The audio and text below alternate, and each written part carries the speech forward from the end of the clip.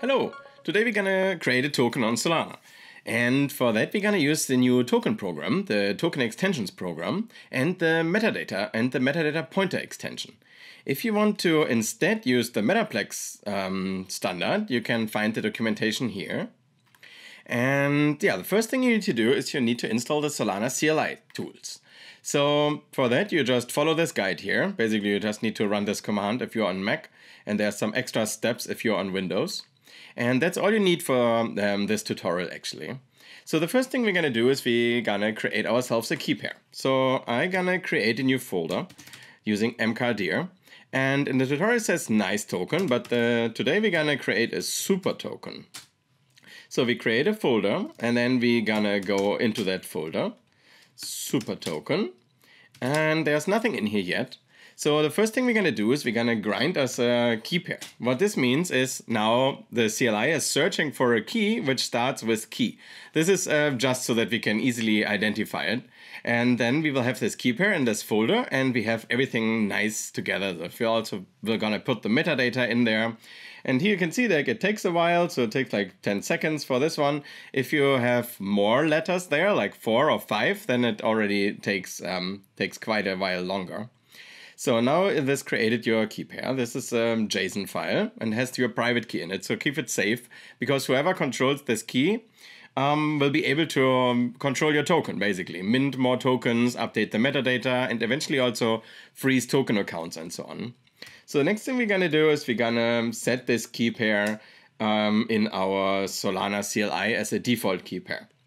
So for that, I'm just gonna type key here and press tab and then it will take the key pair that is in this folder.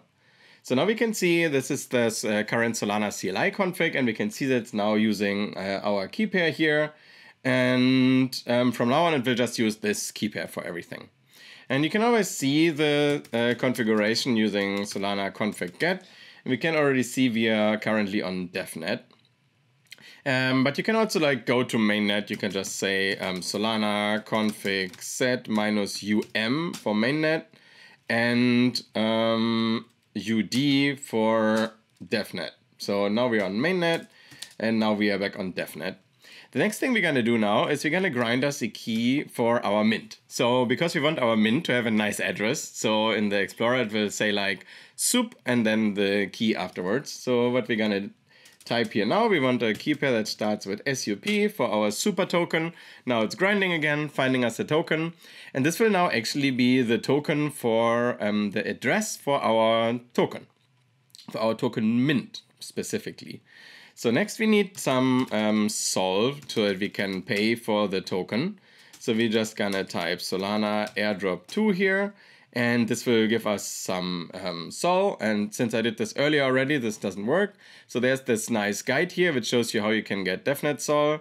And I will now go to this web faucet here. And if you want to find out your address, you can just type Solana address. And then I'm gonna copy this one. I paste it here into this Solana faucet. I say I want one sol. And yeah, now I'm getting the sol in my uh, in this key pair because we're to do everything on DevNet.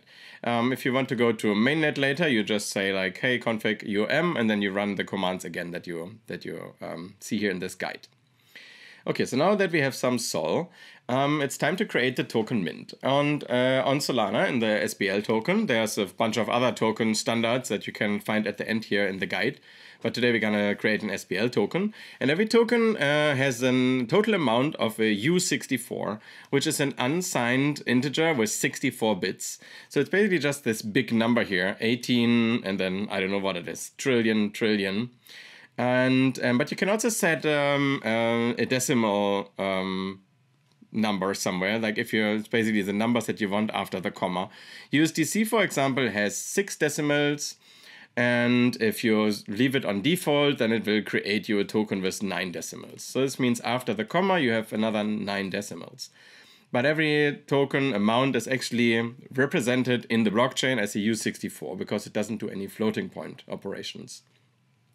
And now we can already create our token actually. So I'm just gonna copy this command here And the only thing we need to do is we need to replace this key pair with the one that we created. So in my case, it starts with sup.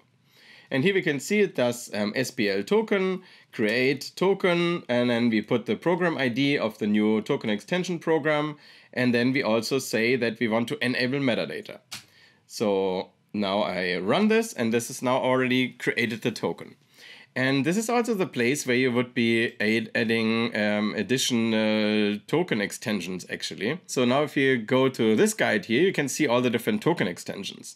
So you can, for example, now here add also a transfer fee or make it interest bearing or um, implement a transfer hook, which like lets you add new functionality to your token and so on. This is not possible after the mint anymore. So you need to do this um, at this step actually if you want to do that. And uh, but now we want our token to look nice in the Explorer, right? So we're gonna add some metadata. And the metadata is just a JSON file, an offline JSON file, which we will save in a decentralized storage.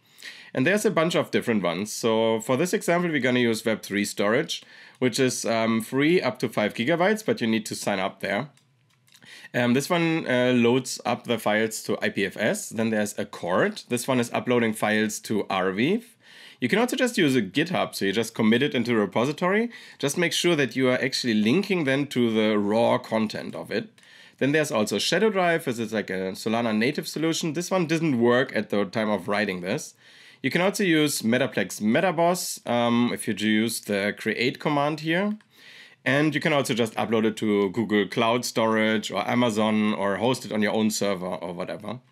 But for this one, we're gonna do um, decentralized storage on IPFS using this Web3 storage solution here, because it's just like um, very easy and convenient.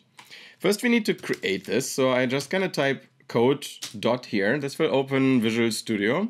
And here you can already see our two um, key pairs here. This is the one for our token mint, and this is the one like our, our wallet that has the sol that pays for this um, token. And I'm just gonna create a new file here. I'm gonna call it metadata.json. And then I'm gonna copy in this preset here. And now um, you can tell me how we should call it. I would say let's call it super token and the symbol will be sup or super. And but we're still missing this image here. So first we need to upload an image actually. So for that we're just gonna uh, ask ChatGPT to create us an image. Um, so can you please generate me an image of a super coin um, in 512 times 512 with transparent background. So while this is generating, um, then we will just download this file, upload it here, and then we're gonna put the address of this image into this JSON file then we're gonna save the JSON file, and then we upload the JSON file, and then we're gonna add this JSON file link uh, from the metadata to our token mint, and then we are already done. So, oh, so we have this nice, um, this nice token here, super token. It has like a little bit of a Superman in it as well. So we're gonna go to downloads, and I'm gonna rename this to super token, and I'm gonna rename the end here as uh, as a PNG because um, I'm not sure if the other format works. So then I go here into um, the Web3 storage, I go to upload, I drag and drop this icon in here, and I press upload. This is now uploading it to IPFS, and after a few seconds we will get the link. So now we have the link. Here we need to make sure that we are not pointing to this um, preview, but we actually directly link to the image. So now I copy the link to this image and I'm gonna put it into the JSON file. And now I gonna upload, uh, open this JSON file in the Finder. And I go back here and I also upload the JSON file. So for that, I also just drag and drop it in here. I press upload. And then we have also the JSON file uh, on chain. So here again, I make sure that I'm actually getting the link directly to the file. And so now we have the, we have the correct metadata. And now we're gonna add this metadata to our token. So I'm gonna copy this command here, which does SPL token initialize metadata. I paste it in here. Then I get the link from IPFS from our token. I'm gonna paste this in here. Um, uh, there's probably some way how I can like uh, delete this uh, quicker, but um, let me paste this in here. Then we're gonna say the symbol should be super. The name should be super token, maybe lowercase. And now we also need to add here the mint address. So that is the address of this, um, of our super token of the mint.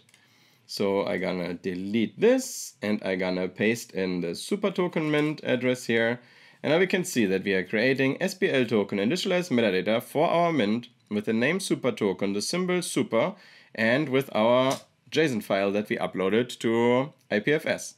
So that worked. So now we should be able to already look at our token. So let's go to Solana FM and we make sure that we are on developer mode because we're currently on DevNet. Then I'm gonna paste in this address here. And here we can already see our token with, um, with an icon.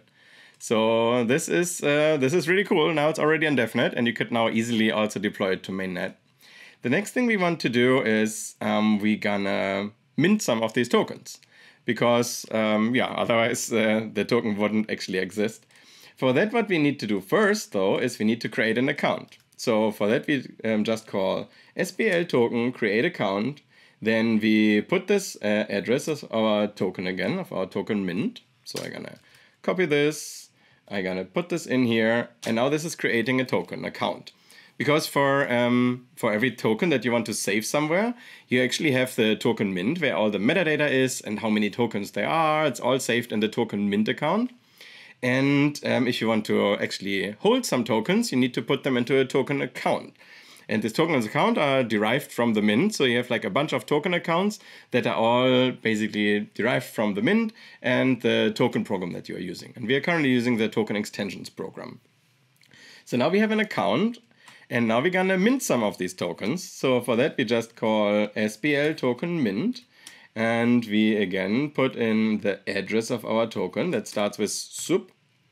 Uh, oops. Um, okay, that was wrong. Um, so we will SPL minus token mint. Then we copy our mint address again. And we want to mint 100 of these tokens. So let's see if that worked. So now we have 100 tokens. And if we go here back to Solana FM, we should now be able to see that there's actually 100 of these tokens. So circulating supply is currently zero. And if we refresh this a few times, then it should be 100. So now this is 100. And now what we can also do is we can transfer it to another wallet. So let's say I want to transfer it to, to this Phantom wallet, for example. So for that, I'm just gonna type SPL minus token transfer. Then I need the address of my mint again. Then I need to say uh, how many I want to transfer. So I want 10. Then I need my friend's address. So this will be this Phantom wallet here. And then what I also need to say, uh, minus minus fund recipient. That means that I am now paying for the token account of the other person so that he can actually also hold tokens because otherwise he wouldn't need to pay himself. But since he is currently not there, um, I'm gonna do that. So uh, fund recipient. So now we have 10 tokens we sent to our Phantom wallet. And uh, you can see I already have a good and a nice token here already. Um, but um, if I reload this a few times, now we also have our super token here and it will hopefully also load this icon. Yeah, after a while the token also showed up in Phantom, so we can see it here. And we can also see the token in Solscan, for example, and here you can see the additional metadata and the extension that we added. So we have a metadata pointer, which is actually pointing back to the mint. And then we have the token metadata, which has our name, the symbol, the update authority, which is our key here. So keep that one safe. And then we have the URI to our metadata, which then has the URI to the image. So yeah, here at the bottom of the guide, you can also find some further links to some um, to some articles. So there's some rules on token launches, how to navigate token launch risks, and you can see all the other token extensions here. So yeah, I would recommend you try out, try it out, uh, experiment a little bit with these different extensions. Maybe try out interest bearing token or transfer fee token, or especially the transfer hooks are very interesting, I think. And yeah, now you can use your token for whatever you want. You can use it in the game, you can use it in DePIN, you can do the, use it in decentralized finance. So yeah, try it out. Build a token and, and see you guys next time. Bye bye.